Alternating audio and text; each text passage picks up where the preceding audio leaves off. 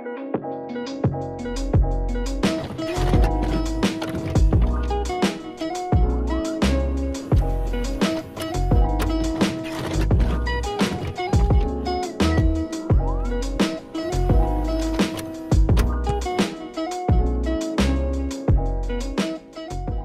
guys, it's Nirmeet and I am back today with a new video. So today I'm doing a little video on being productive and motivated, kind of like a combination of tips and what I do as a college student to stay productive and motivated when I'm working. I have a busy college life and still making time to like hang out with friends and treat yourself right.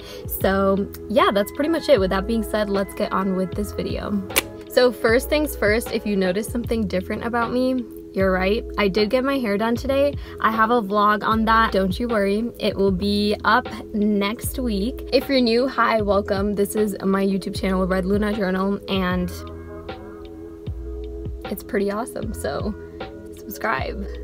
So the first thing I'm going to talk about is the benefits of having a planner, a calendar, a agenda, whatever you want to call it, something that has somewhat of a chronological time frame so that you can actually keep track of your assignments and goals and stuff like that. So for me personally, I've always been a planner person. I used it all the way in middle school and high school, like the school ones that they give you usually, and it's just really helpful to actually keep a track of homework.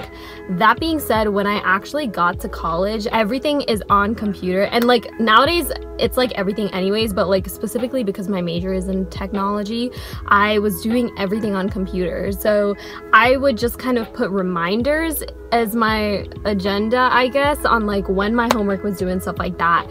And honestly, I kind of set up a trap for myself because you know when those reminders come, you just click remind me in an hour. It's really tempting to do that and it's actually not the best way to do things because I always feel like it's like when you see it pop up and then you click like remind me in an hour or something and then it pops up again like you realize how fast time is passing and you're just like, didn't I just click remind me in an hour? So since I came back here, this is actually my first time using a planner in college. I don't know why I grabbed my knee like that. It is my senior year and I am uber busy. So I went out and got myself a planner. Now this planner is from Target. I actually wanted to go to Staples, but there are literally no Staples in the area I'm in. And there was actually one in like two cities over and so I literally drove 20 minutes and it was freaking closed because it hadn't been built yet. But yeah Target is good too Amazon's good honestly like wherever you want to get it from.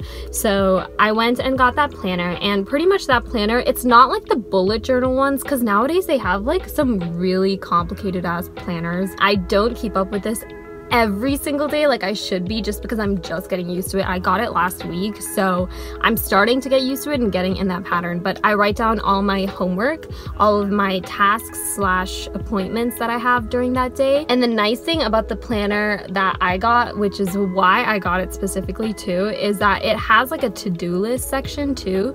So it has kind of like three parts, I guess. It's like, it has like the monthly calendars and then it has like the weekly and the daily stuff, whatever. And then on the daily stuff, it's divided into two sections. There's like a blank area with just lines where you can like write anything. So that's usually where I put like appointments or events that's happening on the day. That's isn't really like school related. And then on the right side, they have a little to-do list with like check boxes and stuff. And so, I mean, I guess you could just make that yourself too, whatever floats your boat. Out there, I usually put like errands I have to run if I do have to run any that day. And then usually just homework and like studying stuff or, you know, job applications, that kind of stuff.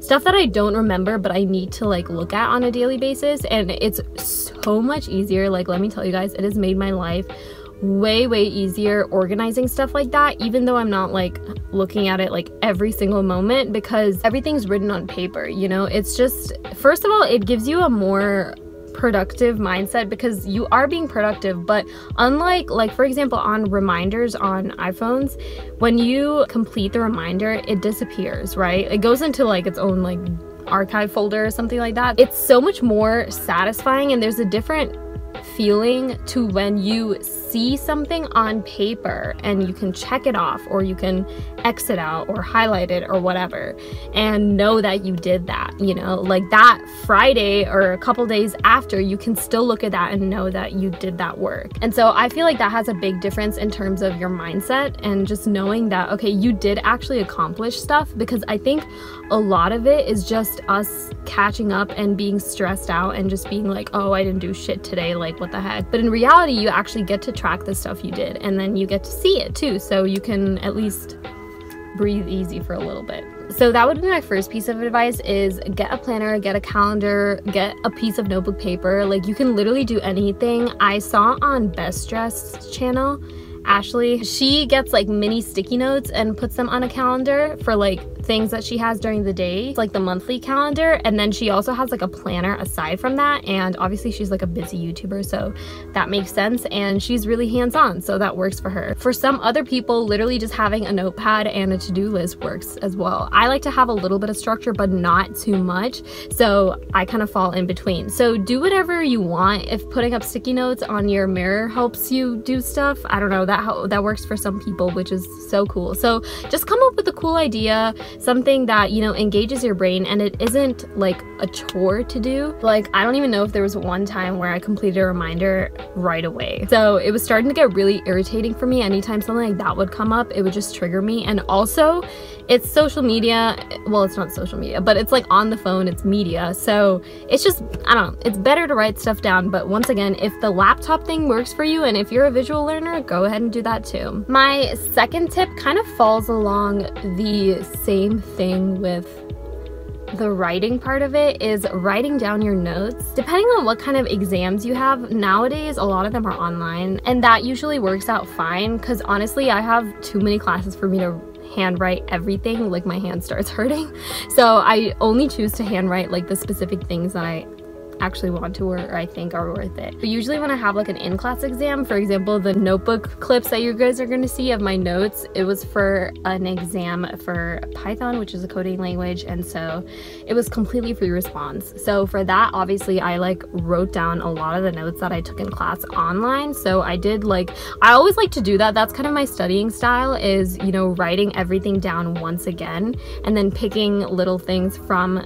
all of that information that you wrote down before as well and then highlighting it and you know writing little notes of like what you need to remember and stuff like that. That always helps me out a lot. So yeah my second suggestion would just be to make sure that when you're studying and taking notes and stuff like that it's in the method that is best for you because it's such a waste of time for you to take notes or do something that you know you're not gonna even like retain or comprehend. And so for some people, like flashcards work. For me, I'm like, I don't know, I'd rather do Quizlet than flashcards. Do whatever fits your learning style, but like don't waste your time on doing something that isn't working for you. When I first came to college, I used to start by writing out all my notes because that's what I did in high school. But the intensity of class load of college versus high school is so different that my hand literally started aching so much and it took me so long to write down all the notes. And so that's when I switched over to writing on my laptop because I was like, this is taking a way too long and it's just like, it's hurting my hand so much too. Going with your style of learning and not like forcing yourself into like what your peers do or anything like that is always the best way. Like I have a lot of friends that always are meeting up for like group study and all of that stuff. And I can't do that. I don't study well in a group. I just don't end up studying. I get very distracted. I start socializing. And so I can never do group study. Maybe that's my fault. I don't have enough self-discipline. I don't know, but group study just does not work for me. So just kind of going with your style of learning and making sure that you're making it easier for yourself to actually be productive is usually the best idea. And then the third thing I want to mention in this video is gonna be balance. So for me, what I've noticed, and it has definitely taken me a long, long time for me to realize this, most of this realization happened last year when I was living at home and commuting to college versus living on campus. I really got to focus on myself, my learning styles, my mental state, my physical state, all of that kind of stuff. And so what I learned is that balance is the key. You know, spending too much time on something is never gonna output in the most desirable result. You might get results in terms of like grades or whatever because you're studying a lot or something like that, but making sure you have a balance keeps you more sane in the long term, which is I mean, you live for a long time, you know, so you obviously want to be sane. Paying attention in all areas of your life. Don't just be productive and motivated in one area. Obviously, that's easier said than done. I'm definitely a culprit of not having my life together and everyone is no matter what they say blank plus blank plus blank plus blank equals balance math lessons from Nirmeet making sure that you take emotional breaks and by emotional breaks, I feel like that's such a loaded word. Taking time off of social media. Social media is such a huge part of our lives nowadays. And I actually have not been posting on my Instagram for about a month now, I think. I still post occasionally on my Instagram stories because of like marketing purposes. I don't know, I feel like it helps for videos and stuff like that when they come out. So I do that, but I haven't posted on Instagram in about a month. It feels awesome. My screen time, kid you not, used to be like five to six hours. And I'm sure some of yours are even more because I know people who are younger, like in Gen Z and stuff like that, you guys use your phones even more. I checked yesterday on Sunday, it was 45 minutes.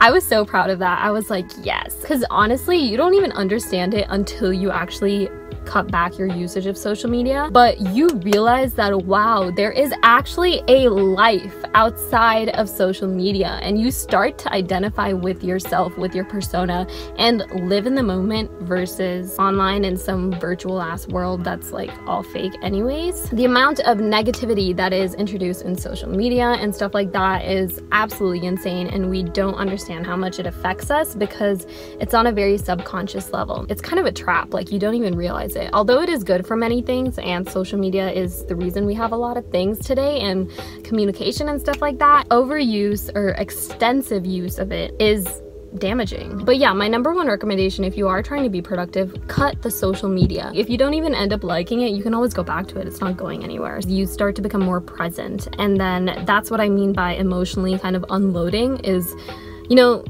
for you to be productive and motivated, you have to know what you want. It can't just be like, oh, I know she has good grades. She posted this on this, this, this. So actually solidifying, you know, what you want and what you're striving for is really helpful. Now, obviously, other than emotional unloading, there's physical state, not physical unloading. That's like pooping, right? Working out is good for you. Even if you don't want to work out, take some long walks, go outside. Exercising is always good. It produces dopamine. There's nothing bad about it. And then the third part of that like balance equation that I was talking about is social interaction. What I've noticed is that when I just hound at my work and don't take a break whatsoever, that's something that taxes me a lot. So making sure to hang out with your friends, spend time with family, FaceTime your relatives across the world, whatever you want to do, little things like that in each day helps you stay more on track because it reminds you who you are, it grounds you with the people that love you and believe in you, and on top of that, it gives you a little bit of break and actually like interaction with the real world, which is so important. I think it starts to become a chore when you start doing it all the time and you're like, God damn, I have to get back to that. That's when it starts to get like really, really taxing. And so I recommend breaking it up. That's always a good idea. And the other way you can kind of break up, I guess, your productivity sessions, whatever you want to call that, is drinking water, eating snacks, eating some healthy snacks, stuff you can crunch on promotes your brain think, something like that. I don't know, my mom said that. And drinking water, obviously, aside from the actual health benefits, when you drink water, you automatically, you know, have to pee like every 30, 45 minutes. And so you're forced to get up and take a stretch break or whatever, like, you know, move your limbs around when you're studying. So it's kind of a win-win. You like kill two birds with one stone. So yeah. Alright, that's gonna be the end of this video. I hope you guys enjoyed. These, once again, were just kind of tips that help me stay on track a little bit. And definitely don't beat yourself up if you have a couple of off days because that happens to everyone. Also, if I look a little shiny right now, it's because it's literally 95 degrees in my car. Ooh. So yeah, that was the end of this video. I hope you guys enjoyed. I hope some of those tips kind of help you out for your school year or work year. So yeah, I guess I'll just see you guys in my next video. Bye guys!